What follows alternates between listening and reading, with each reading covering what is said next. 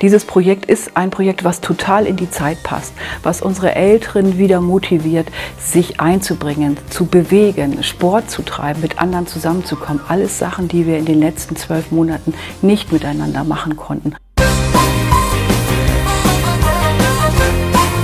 Sie haben nicht etwas Gutes ausgedacht, gesund und mobil älter werden. Das ist eine gute Parole, die die Turnerinnen und Turner in Niedersachsen herausgegeben haben und so die Menschen einladen sich zu bewegen und dafür zu sorgen, dass man auch im Älterwerden flott bleibt.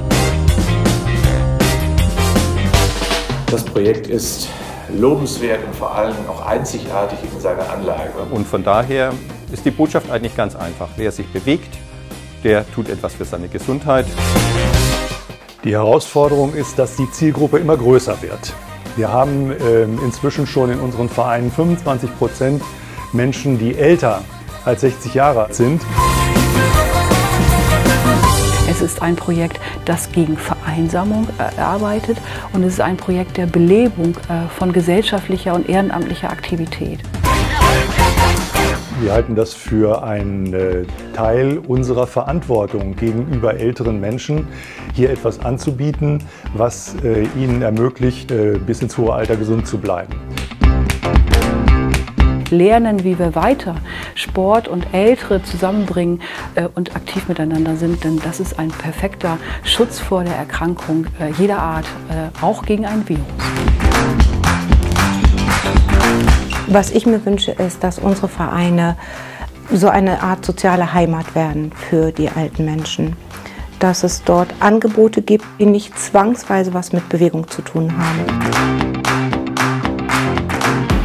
Seit 2005 äh, begleite ich das ja jetzt auch schon als Vorstandsvorsitzender äh, den Niedersächsischen Turnerverband und dementsprechend ist da die gleiche Philosophie äh, und man kennt sich, man vertraut sich. Und wir sind sehr froh darüber, dass wir äh, die allgemeinen Ortskrankenkassen als Partner gewonnen haben.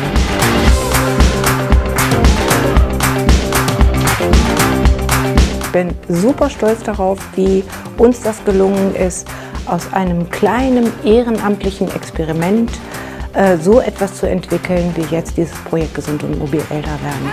Ich würde mich freuen, wenn es dem NTB gelingt, dass Sportvereine zu zentralen Netzwerken werden, die sich in der Kommune um ältere Menschen kümmern. Je oller, je doller.